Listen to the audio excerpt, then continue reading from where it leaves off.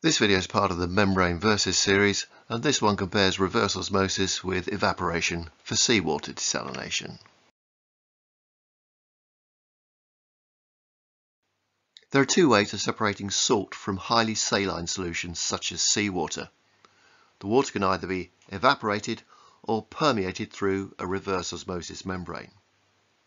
For RO, the seawater entering the membrane produces a concentrated brine waste stream and a permeate potable water product stream. This permeate stream requires post-treatment to stabilize the pH by adding alkalinity.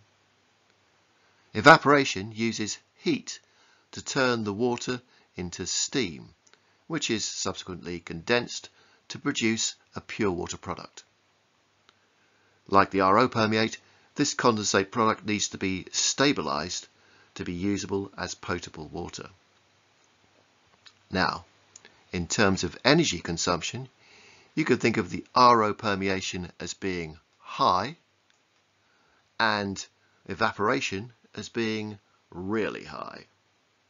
So in practice, RO is always used for desalination unless a low-cost thermal energy source is available. For evaporation, the thermal energy needed for the process can be provided as low-grade waste steam from a power station. So, where seawater evaporation is implemented for large-scale drinking water supply, it is most often associated with electrical power generation, along with a low-cost primary source of thermal energy, such as cheap oil. For both processes, energy consumption is reduced by recovering energy from the brine stream. In the case of evaporation, energy is recovered in the form of heat from the brine through a series of evaporative stages. The potential heat energy or power recovery is then proportional to the difference in temperature between the initial brine temperature and the final temperature at which it's discharged.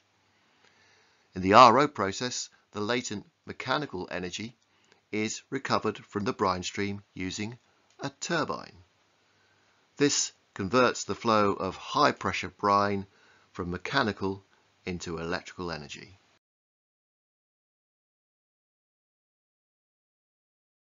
So, RO is the favoured technology for seawater desalination based on energy consumption.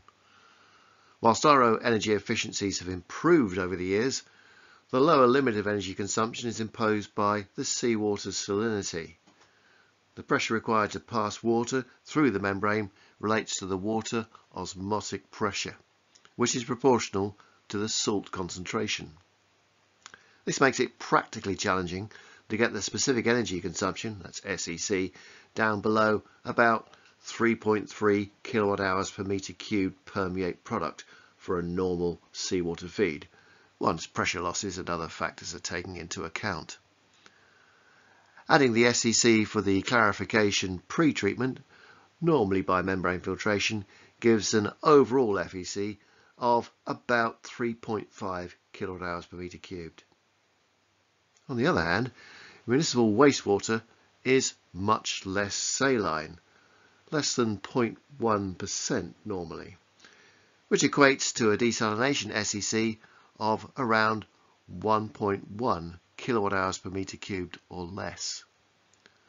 Biological pretreatment by conventional activated sludge followed by membrane filtration or by MBR technology demands relatively little energy, giving a total SEC of below 1.8 kilowatt hours per meter cubed.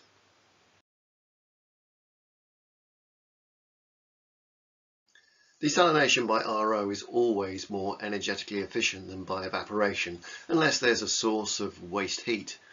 And freshwater production from sewage is more energetically efficient than from seawater. But of course, there are other factors to consider besides just energy when it comes to drinking water supply.